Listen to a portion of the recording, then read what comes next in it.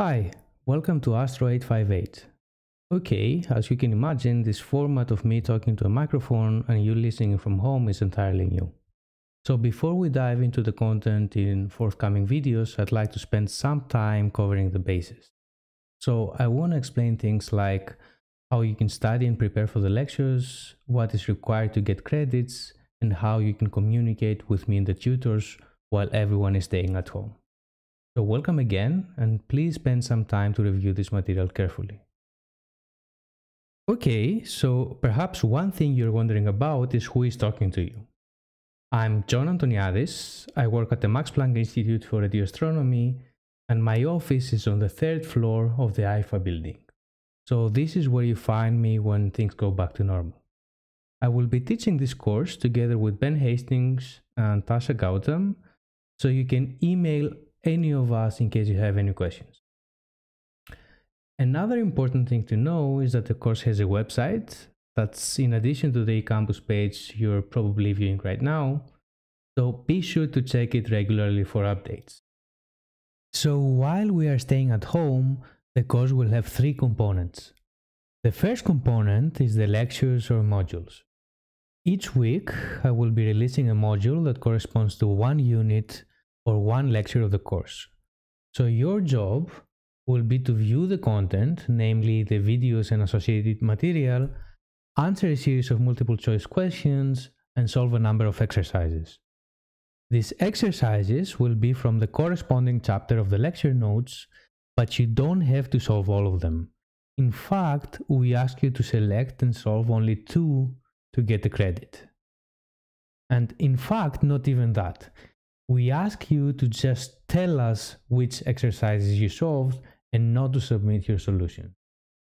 Now, that said, uh, we will be organizing weekly or bi-weekly exercise classes via Zoom, and in these classes, you may be asked to discuss the solutions for one of these exercises. Now, this format should already be familiar to you from previous courses. Each unit should take you roughly two to three hours to complete. An important thing to note here is that these modules are entirely self-paced. That is, there is no formal deadline for completing the tests. You can just follow them at your own time. Now the third and perhaps most important component is the paper presentations. Each of you will be asked to read and evaluate a recent research paper related to nucleosynthesis and then prepare a 10 minute presentation of that paper and present it to the rest of the class at the end of the semester. Now, of course, you don't have to do this entirely by yourself. One of us will mentor you and help you to understand the paper you selected and also prepare your presentation.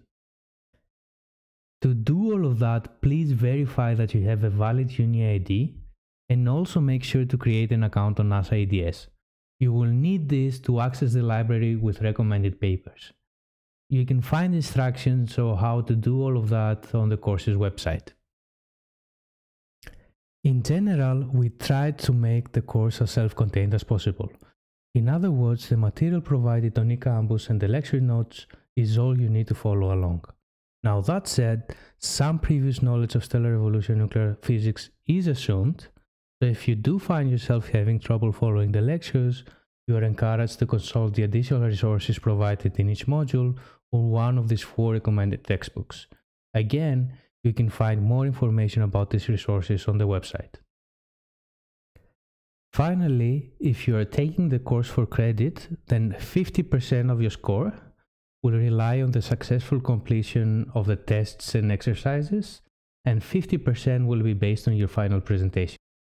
Now, if you have any questions about the content of this video, please visit the forum on eCampus or send an email to the tutors or myself and we'll try to clarify. With this, I'd like to welcome you again to the course. The next few videos will provide an introduction to the modern science of nuclear astrophysics as well as a brief overview of the course.